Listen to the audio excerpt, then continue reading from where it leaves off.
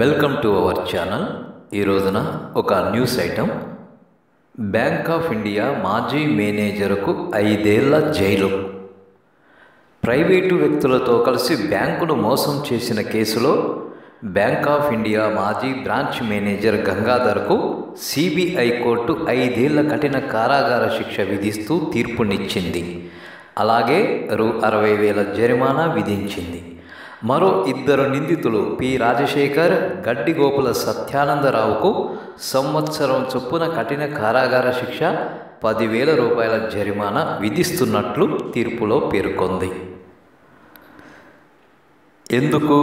వీరి ఏమి చేశారు అంటే హైదరాబాదు సరూర్ నగర్లోని బ్యాంక్ ఆఫ్ ఇండియా బ్రాంచ్లో గంగాధర్ మేనేజర్గా పనిచేసే సమయంలో రాజశేఖర్ సత్యానందరావు వద్ద నుంచి తప్పుడు పత్రాలు తీసుకొని డెబ్భై మూడు లక్షల ఎనభై వేల రూపాయల గృహ రుణాన్ని మంజూరు చేశారు.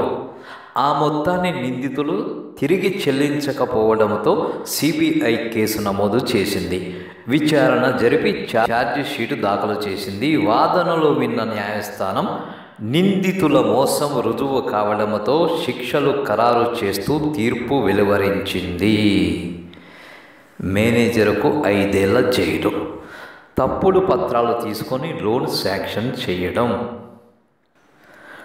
చూడండి. బ్యాంకులు కానీ చిట్ ఫండులు కానీ మ్యూచువల్లీ ఎయిడెడ్ కోఆపరేటివ్ సొసైటీలు కానీ ఇక మనం వినే చిట్టీలు కానీ ఇవన్నీ కూడా కొంతమంది డబ్బుని ఒక దగ్గర జమ చేసుకొని ఆ డబ్బులను అవ- అవసరమైన వారికి అప్పులు ఇవ్వడం ద్వారా ఎంతో కొంత లాభాన్ని ఆర్జించి తమలో తాము పంచుకుంటారు. లేదంటే ఆ వచ్చిన లాభాన్ని కూడా వ్యాపారంలో పెట్టి వ్యాపారాన్ని మరింత పెంచుకోవడం జరుగుతుంది. మరి ఈ విధంగా ఇచ్చినటువంటి అప్పు వసూలు కాకపోతే ఏమవుతుంది? ఏమవుతుంది? ఇచ్చిన వారు నష్టపోతారు. లాభం సంగతి పక్కన పెట్టండి. మొత్తానికే ఎసరు మొదటికే మోసం. సింపుల్ లాజిక్ కదా? మరి బ్యాంకులో పనిచేస్తూ పది మంది దాచుకున్న డబ్బుని తప్పుడు పత్రాలపై మరి ఈ విధంగా ఒక డెబ్బై మూడు లక్షలు అప్పుగా ఇచ్చేస్తే అప్పుగా ఇచ్చాడు అని అనగలుగుదాం మనం. పంచుకున్నారు తమలో పంచుకున్నారు. అందుకే అక్కడ రికవరీ రాలేదు. అక్కడ ఆ లోన్ అకౌంట్లో రికవరీ రావడం లేదంటే అందరి దృష్టి దాని మీద పడుతుంది. పై అధికారుల దృష్టి అంతా దాని మీద పడుతుంది. సో మొత్తం బయటకు లాగుతారు. ఆ పత్రాలు తప్పుడువని తేలుతవి. ఇదిగో అట్లా తేలే ఈ యొక్క మేనేజర్ కటకటాల పాలయ్యాడు.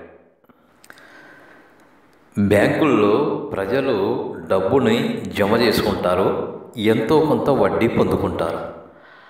ఆ జమ చేయబడ్డ డబ్బుని అలాగే ఉంచుకుంటే బ్యాంకులకి నష్టం. ఎందుకంటే they have to pay interest on that.